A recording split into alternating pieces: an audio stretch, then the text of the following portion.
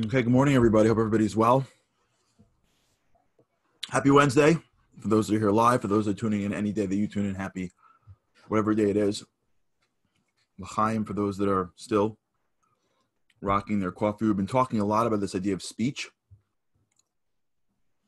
Really important piece of this work that we're doing. No matter where you're tuning in, we it's like there's a there's like a, a flag that you put in the world of speech and you got to get to the flag. It's a city into itself. Speech is not like a thing that we just sort of have that is just the bridge between thinking and action. It's much more than that. Yesterday, we began the process of describing it as a bridge, but I don't want anyone to think that that's just all it really is. It's a world into itself it's the distinguishing factor between animal and human. When God created man and he blew the spirit, if you will, into his, into his into into man, the commentators say he gave him the ability to speak. It's a very speech is a very big deal in the spiritual world. In some ways, even more important than action. And what we need to do and continue to do together and the work that we're trying to do together is really to appreciate who we are. Growth, greatness comes not from a place of I am not. It comes from a place of I don't know who I am, but I sense that who I am is so much greater than what I am manifesting every single day. The world around us can make us feel really small. Not in our accomplishments, in our capacity. The world can send us messages saying, if you're not this age, then you're losing in the journey of success and wealth and marriage and friends and how old are you already? How old are you? Well, let me show you a picture of somebody who was six years old when they started their first company. Well, by the time you're 26, by the time you're 20, even how things are structured. Speak to someone who's 50, speak to someone who's 18, and have the conversation be about growth and change and um, being somebody. And usually someone who's 50 will be like, well, I'm, I'm 50. 18 year olds will be like, yeah, I'm just starting my life. Why is the 50 year old not starting his life or her life? Why? How, how many years you got left? I don't know. You could have a whole nother half a century. And with modern technology, it could be even more. Why is the 18 year old more likely to have a much better reaction to change and growth? Because what? Because they're in high school and they spend all their time just studying for the future versus someone who's 50 who spend most of his time living in the present? Just a mentality. We feel small if we don't accomplish by this point. There's no deadlines, there's no timelines. That's all made up. In the spiritual world, every moment of every day is the chance for to become the person we're supposed to be. And if you even look at just history and for sure biblical history, you will see that some of the greatest things that people have accomplished have accomplished later in their lives. Every moment is a chance. However, ha- we have to build up who we are and then contrast who we could be, or better said, who we could be, not who we are. Contrast who we could be, our capacity, with who we are today, our current state. And that's where we say, wow, I'm so much bigger than that. What I'm doing now is not who I am. And it could be more. And one of the areas that we have totally thrown to the side is speech. And there's reason for it because we live in a physical world. And there are a lot of people that just talk. And if all you do is listen to speech news all day and you don't change, it's not going to work. So, because it's hard to connect speech to action, action we can't dismiss because actions, actions will just dismiss speech. speech and because you live in a world where people say things and so as a result when you're young you want people to be more resilient so you say things like sticks and stones may break our bones but uh, words will never hurt me that's that's great for when you're seven but if you're married and you keep on disparaging your spouse well guess what that's much worse than anything you're going to do And if you're a parent and you keep on demeaning your child, then sticks or stones won't hurt them as much as words. Okay, when you're when you're a kid and you got to get to the playground, we'll use the line, but you can't we can't keep that going. What we're doing these past few days, and for those who are with us now for the first time, go back to Sunday, we're starting this new chapter, is really just realize that speech is supposed to be the point of creation. That's really the moment where the world changes. That's really the moment. One second, I gotta adjust this. That's really the moment where we become, we we we bring something to the world. Our actions are gonna follow our speech. And when your brain realizes it, when we condition into our minds this reality that when it comes out of my mouth, it's done, a lot of the pushback that our minds give us starts to fall by the wayside. I'm going to prepare that subject if I've already committed to speak about it.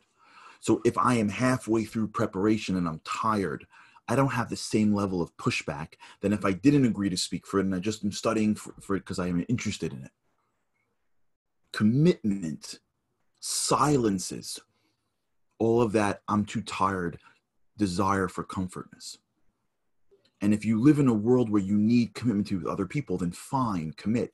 But we, what we really got to get to is a place in which just by speaking is a commitment. And then you don't need other people to create the commitment. And yesterday we spoke about this idea of where create a space in which your speech is your bond.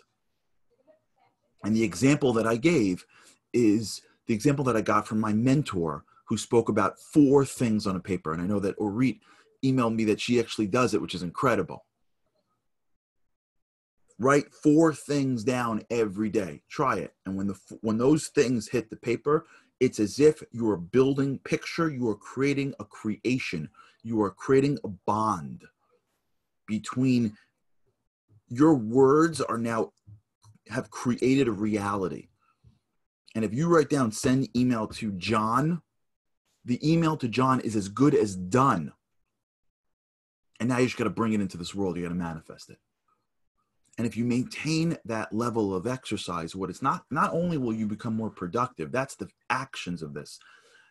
More importantly, you're going to, we, we will start to learn that there are parts of my speech that are real. We have this, by the way. You know where we have this? I think it's like one or two things left in the world. We have this with one question.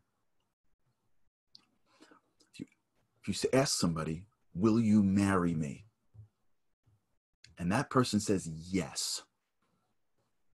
That's just speech, right? But all of a sudden, just with two words, one question and one answer, the whole thing is under 10 words, everyone gets excited and people start making spending money, and then you got parties. There's white dresses involved, there's fancy flowers involved. Can you imagine a guy asks a woman, Will you marry me? She says, Yes. And then he shows up like six months later. He's like, where, where are you going? Why are you in a white dress? And she's like, we're getting married. She's like, oh yeah, I was just, I was just talking. Can you imagine? Right? Then his wedding becomes his funeral. Right? Like, it was just, it was just words. I didn't really mean them. You know, because in society, what we have left is like a couple of lines. When you say the words, will you marry me? Society sort of agrees that you don't just say those words those words don't come out of your mouth unless you were ready to commit. That is the perfect example of where my words build a bond. You get married when you say, Will you marry me? Now you got to manifest it all the way into the wedding. But when you ask that question and she says yes, you got to assume that you've now built a bond when we start to see our words as super powerful, our words will have more power. Remember, in the spiritual world, intention is what the, the, it, intention is what gives power. When, when the intentions that come out of our words are, I am speaking in a way that builds bonds, we will create spiritual bonds, which will have physical ramifications. We spoke about this yesterday with this idea of how a person could get forgiveness or vows or a, a, wedding ceremony. But I want to take it one step further today because there's another area of our, our mouths that we have to start to watch. We don't appreciate, before we start getting on to what this means for other people, which we'll get to, but we're still in the world right now of what comes out of my mouth is powerful. And every one of us right now, as we speak, has like a number. If I'd have to go from one to a hundred, a hundred being whatever I say is going to be true, and zero being it doesn't matter. I just talk. I lie. I don't lie. I, I, you know, I make people feel good. I don't. I make commitments that don't mean anything to me like that. When we zero means my words are worthless. A hundred means my word my words are powerful. Every one of us sits somewhere in that continuum. Sometimes my words are powerful, sometimes they're not. Not really. Maybe here, I can try it, right? And what we need to do together, and what we need to do, each of us in our own lives, is just walk down the path to recognize that the things that come out of my mouth is really powerful. And we're going to go into things like this what it has on people, the research of what it does on your own brain, Navy SEALs, affirmations. So that's powerful. But as you walk down the road of making it more powerful, we encounter different ex- aspects of speech and we have to appreciate them. And one of the most important aspects of speech that we need to understand because it it it it devalues what comes out of our mouth is negative speech. Not only is it in complaining and assuming it's going to be bad, forget that yet. I'm just talking about how we speak about others and ourselves. There's a great story that I heard out of Jerusalem. It's a powerful story. There was a, a school where one of the girls in the school, a post high school rabbinical, uh, not rabbinical, post high school academy. And there was a bunch of, a lot of girls that went to this academy, and one of them got engaged and it was wonderful. The girls were excited for her, and she got engaged. She was very young, and they were so happy. And the next day, in the there was a park right near the school, and there's a couple of her friends talking about her, and they were a little envious. They wouldn't mention it. They're not gonna. They weren't consciously aware of it. They just were a little threatened. Why her, not us? So they started speaking badly about her. Oh, she thinks she's so this, she's not so much. She thinks she's so smart. She comes across as smart. She's not so smart. And the two of them start just like bad mouthing their friend. Not because they're bad people, because, you know, it's like passive aggressive, you know, sort of lines like that. And they're just having a conversation about this girl, and it's not a positive conversation. You know what she said last week? Let me tell you something. She comes across as being so so and so. She's not so so and so. I gotta tell you, she's not so. I know she's dating now. She looks good on the dates, but like, come on, come on all of a sudden an older woman walks up to these two uh, to these two girls on the park bench and says, "Girls, I want to thank you." And the girls say, "For what?" She goes, "This girl you're speaking about got engaged." They're like, "Yeah, we know." And she goes, "I'm sorry, I overheard your conversation. You're right next to me. You're talking pretty loudly, uh, negatively about this girl." And they're like, "Well, you know," uh, and they're like, "Well, guess what? Well, the the boy she got engaged to was my son. This girl's engaged to my son." I had no idea all the things that she is. I thought she was much greater girl than I guess she is, but now that I'm hearing you speak about her, I realize that she's really not good for my son. So thank you, because I'm gonna go tell my son he's gonna break off the engagement. So I appreciate the information. And the girls are like, no, no, no, no, no, no, no, no. We didn't mean it. That's not what we meant. No, we were just, you know, listen. It's, it's. We wanted. Uh, it, it, it was, uh, and, and they're like, they're panicking. She's like, no, listen, you know, it's truth. No one was even listening to you girls. You girls, I guess we're talking the truth. Like, it really wasn't true. We really didn't mean it. We're so sorry. No, no, no. And they were they were losing it. And the, and the lady says, she goes, she goes, well, it's good news for you. She they go, why? He goes, she goes, but I'm because I'm not really the mom of that boy. But I could have been. So watch what you say in public. Or watch what you say at all. And the lady walks off. Is that awesome? There's a great man named Michael Rothschild. He runs an incredible organization called the Chafetz Chaim Heritage Foundation, an organization that basically did, whose whole mission is to work, work on speech and to help us build the power of our speech in the right way. He said to me once, he said, if you want to understand how your words should leave your mouth, assume that if you're speaking about somebody else, picture them in the room. That's it. If you would say it, say it. If you wouldn't say it, don't say it. Simple, powerful, life changing principle. When you speak about somebody else, a parent, an in law, a friend, a sister, a child, unless you have to, in a real, whatever, if you have to sit with your wife or husband and use common sense. But the basic principle is if you speak about somebody else, picture they're there, and then ask yourself, would they say it? Would you say it? Because if you wouldn't say those words with them there, why are you saying them when they're not there? You know why? Because we think our words don't matter. Who cares what I say? Who cares what it is? We don't realize that our words are causing irreparable damage in the minds of the person listening about this other being. In the spiritual world, actually, according to opinions, we're actually giving testimony spiritually against somebody else, which is why speaking badly about, about family members is insane. But more importantly, from all of that, it conditions our mouths to have no filter, to not be sensitive. When we speak ill of somebody else, what we're doing is conditioning in our brains that we're not empathetic, right? We are conditioning our words to remind ourselves that I am not a person of sympathy or empathy. I don't see great in other people. I don't give people the benefit of the doubt. Can you imagine what she did? Do you know what happened last week? Let me tell you something. He's not so.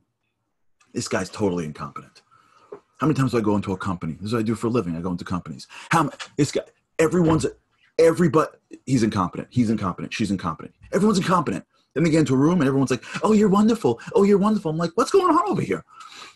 Everybody thinks everyone else is incompetent, and but you can never say it in front of anyone because everyone's too weak to do that.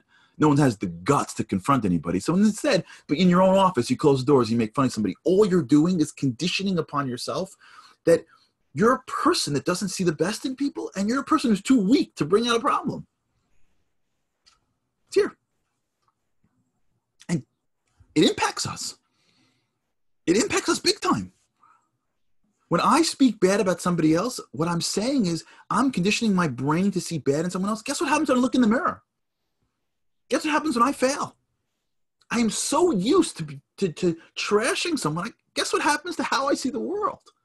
Guess what happens to all the opportunities that are in front of me? I can't see them. Guess what happens when I hit a wall and I gotta get through it? I've been spending so much, much of my time talking about how people fail. I don't even have it in myself that I'm gonna succeed. I didn't even do anything. All I'm doing is talking. But talking conditions my brain to focus on things and miss things. Talking conditions me as to who I am. Just by seeing good in somebody and speaking about it, I feel better. Try this, by the way. Try this. This is a very powerful. We have so many exercises here. I have to have a list. We have to have a list of exercises. Maybe Sunday will be like exercise day. What do you think? Like we'll do like a, a workout all the things that I'm telling you to do. So think try doing this every once in a while. I do this sometimes. Sometimes I'm having like a down day. I, let's say I fail at something, something like that, and I just can't pick myself up. Sometimes, you know what I will do? Honestly, sometimes I'll try to give somebody else a compliment that they're not even expecting, and I feel awesome. Try doing that. Try this just once today. Today. Today. Once. Pick someone in your contacts. Scroll through your WhatsApp. Find anybody you don't have to call them because you have WhatsApp. So just video, just just voice note them. just leave someone a, message. Hi, whoever. Trying to let you know I was thinking about how good you are at this, or you did this wonderfully, or I saw you last week. I didn't compliment you, or you look great, or just find somebody who's not expecting a compliment from you. Give them a compliment, and you will feel see how how awesome that feels. Just words. When we start to realize that these words are building and destroying worlds and lives. And the more I realize that when that thought comes from my head and it passes down my schema and it comes out my mouth, this mechanism called the filter is maybe the most powerful thing I have. Because as it comes out into the world, I've created something. And it's having an impact on the people, and then it's having an impact back on me. Just the recognition starts to build this appreciation for what we have. We've been given this unique tool that only humans have speech, articulate speech. And the more I appreciate it, the more I recognize that it's a value and a power, the more I can use it properly. And it becomes the linchpin to who I am and what I can achieve. All right, tomorrow we're going to hopefully hit the power of some of the research from the Navy SEALs, and then maybe next week we'll talk about its impact on other people. But but I think we're gonna I got we there's some more research that I want to throw, throw out there. But until then, try this by the way. Put these two put these two in these things into practice. Tell me how it goes. Friday's our Q and A day. Soon I'm gonna circle back with Andy figure out when we can do it every day. But try it. Try it. Why not? That's what we're here for, right? You have one life. Why can't I? Try it. When you're talking to somebody else, think to yourself just once if you're talking to somebody else, think to yourself, would I say it if the person was in the room? And number two, scroll through something today. Give somebody a real, but make it real account. Not like, hi, how are you? You're awesome. Make it like real. Just want to let you know when you come to the room, you always light up the room, whatever. Make it real. And realize that this gift called our mouth, most powerful thing we have, really, it's a gift. And if we use it right, man, what it can do for ourselves and others. All right. Thanks so, thanks so much, guys, for being here. You could always watch us on demand. You know the platforms. It's an honor to be with you. Really appreciate it. And with God's help, I cannot wait to see you again tomorrow morning. Speak to you soon. Have a great day.